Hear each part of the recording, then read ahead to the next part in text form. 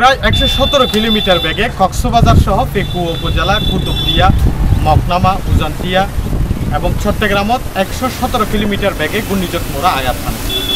সকাল ছয়টার তুন আবহাওয়া অফিসর, সকাল ছয়টার তুন এই ঘূর্ণিঝড় একশো সতেরো কিলোমিটার বেগে এই অঞ্চলের উপর দিয়ে যায়, যার ফলে কক্সবাজার জেলার পেকু উপজেলার ধ্বংসলীলায় পরিণত হই।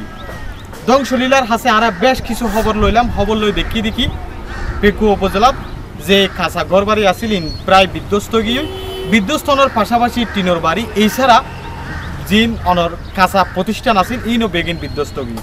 আই পেকু উপজেলার বেশ কিছু চেয়ারম্যানুল্লাহ হতা হইলাম, মগনামার চেয়ারম্যানুল্লাহ হতা হইলাম, তে আর জানাই যে প্রায় এই যে গড়বাড়ি জিন বিধ্বস্ত হয়ে এই ঘূর্ণিঝড় মোড়ার ফলে, তারা তো প্রায় পঁয়ত্রিশ পার্সেন্ট মতো ক্ষয়ক্ষতি হই এছাড়া আই পেকুয়া সদর উজন্তিয়া মগনামা, বারোবাকিয়া তারপর আমরা শিলকালি টৈটম বেগিনুল্লাহ টোটাল হতা হই।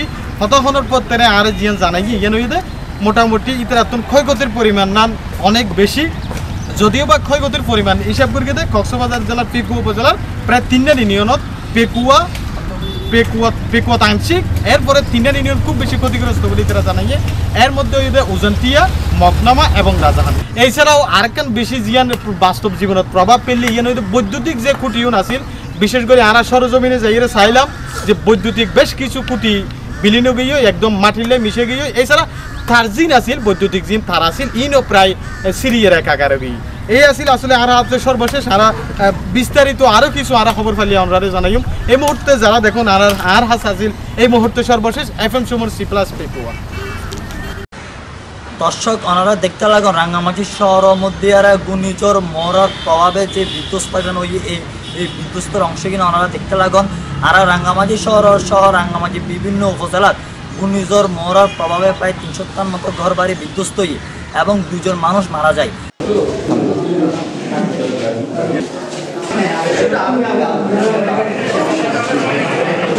ঘূর্ণিঝড় মোরার প্রভাবে গতকালই আমরা রিপোর্ট পাই যে আমাদের এখানে দুইজন, একজন নারী এবং একজন স্কুল ছাত্রী মৃত্যুবরণ করে। গাছ উপড়ে পড়ে।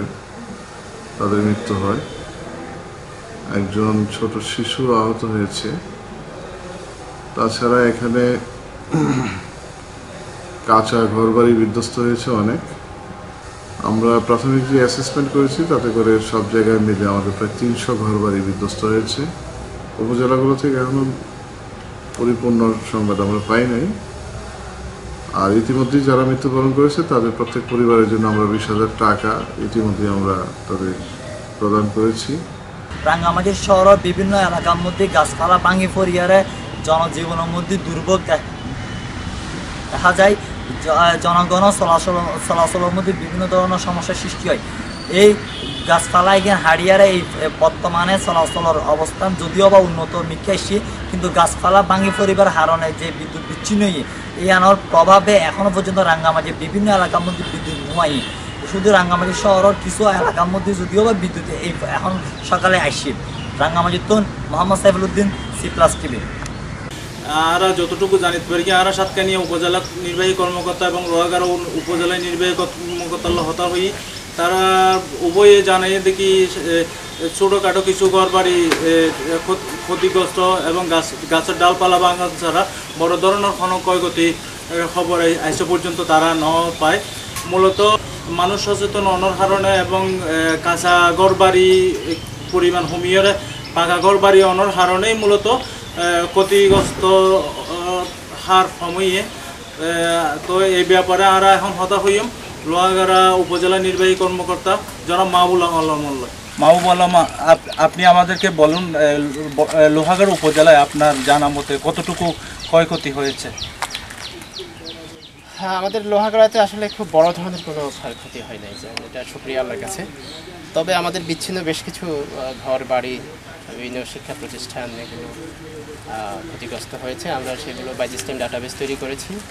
এবং জেলা প্রশাসক বরাবর আমরা পাঠিয়েছি। এবং আমরা আশা করি এটা খুব শিগগিরই এই প্রতি আমরা খুশি হতে পারব। কেওয়াইর মুরগি মার্কা দিয়ে লাগাইলাই হিট, জব্বর চলিব।